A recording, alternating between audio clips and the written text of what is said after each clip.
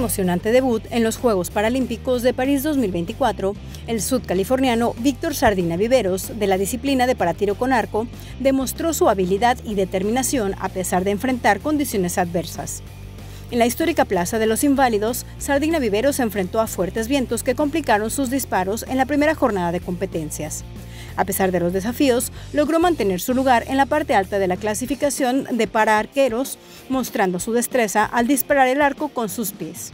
Víctor avanzó a los 16 avos de final y le tocó enfrentar al experimentado estadounidense Matt Stotzman, un rival de alto calibre que ganó la medalla de plata en los Juegos de Londres 2012 y el Campeonato Mundial en 2022.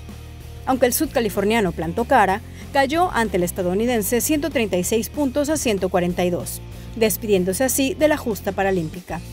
Víctor Sardina, quien ha superado numerosas adversidades en su camino al éxito, representa la esperanza y el espíritu de superación del deporte sudcaliforniano. Su participación en los Juegos Paralímpicos es un testimonio de su esfuerzo y perseverancia, un orgullo para toda la comunidad deportiva de Baja California Sur. Llegan las primeras medallas para México dentro de los Juegos Paralímpicos de París 2024 esto durante las primeras dos jornadas de competencia. El primer metal para la delegación nacional estuvo a cargo de la jalisciense Aide Viviana Aceves Pérez, quien se colgó la medalla de plata en la disciplina de paranatación en los 100 metros dorso clasificación S2, con un tiempo de 2 minutos 21 segundos y 79 centésimas.